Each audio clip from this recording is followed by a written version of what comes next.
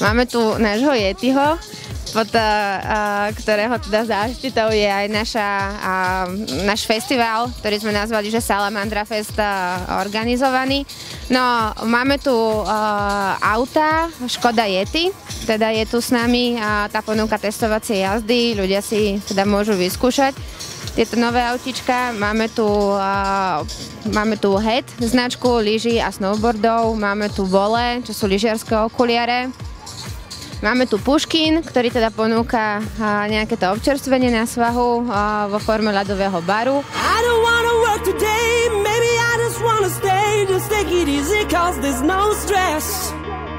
I know it's not enough for crime, something special in my mind, nothing's gonna cause me distress.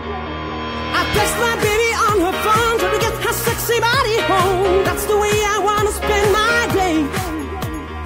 Got to find an alibi, cause I don't wanna waste my time. I don't wanna feel distress. Túto sezónu sme chceli okoreniť niečím novým, a, takže sme vybudovali nový vlek, ktorý ponúka v podstate lyžovanie pre tých začiatočníkov, pre deti. A je dlhý 300 metrov, máme ho v úvodnej časti z jazdovky. A taktiež sme rozšírili služby, máme rozšírenú požičovňu, zároveň máme k nej priradené aj testovacie stredisko značky HED, kde si ľudia môžu najnovšie modely tejto značky vyskúšať, či lyže alebo snowboardy. A máme nový obchod, a Ski Service rozšíril svoje služby. Okrem iného máme nové parkovisko, ktoré ponúka státie v tesnej blízkosti z jazdovky.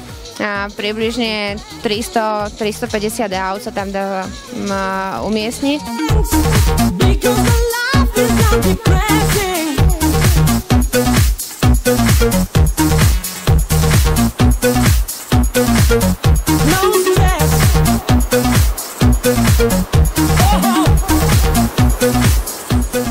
Máme novú lyžiarskú školu, na ktorú by som chcela priamo priamiť pozornosť, lebo, lebo chlapci sú veľmi šikovní a každý účastník, ktorý do tej školy ide, tak dostane diplom, dostane certifikát, že sa zúčastnil a taktiež je možnosť natáčať video s tými deťmi a ako takú krásnu pamiatku na športový výkon.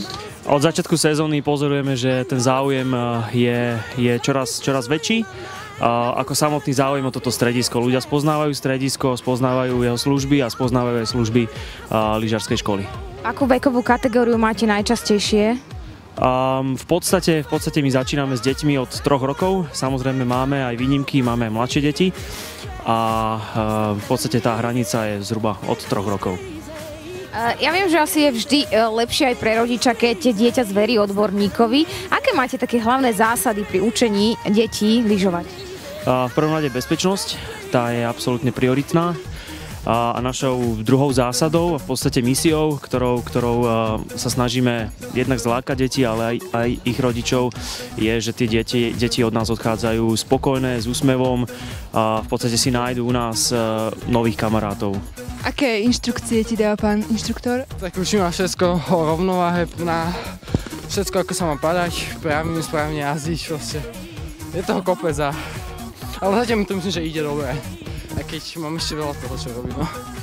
A myslíš si, že keď prídeš na budúce, že sa už bude vedieť možno snowboardať oveľa, oveľa lepšie a že to už pôjde lepšie na tých hranách? No bude to dúfam lepšie určite. Tak určite aspoň zísť ten svah poriadne. Páči sa ti na svahu? No jasné, hej, super, úplne to. Som spokojný úplne. Aká je dnes lyžovačka? Super. A stredisko?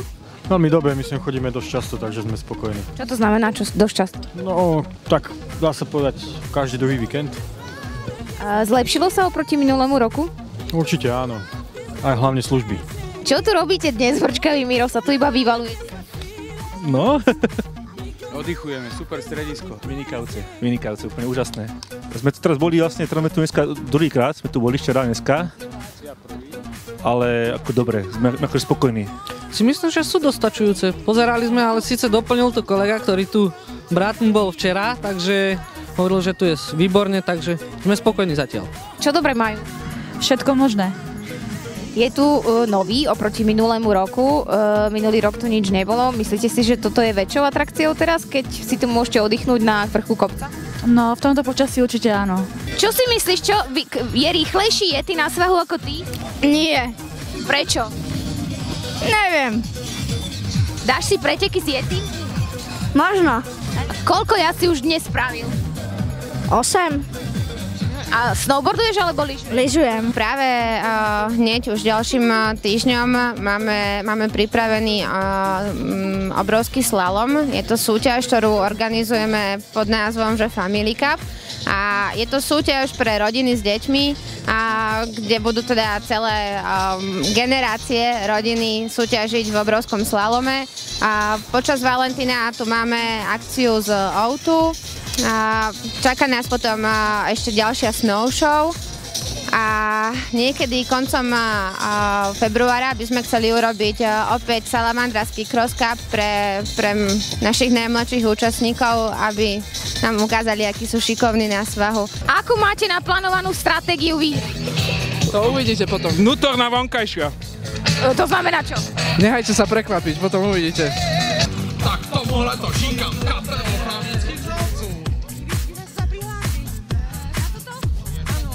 V tej tradícii by sme chceli teda pokračovať a, a robiť tieto podujatia každým rokom a čo sa týka tých pretekov, rovnako ako takéhoto Salamandra Festu.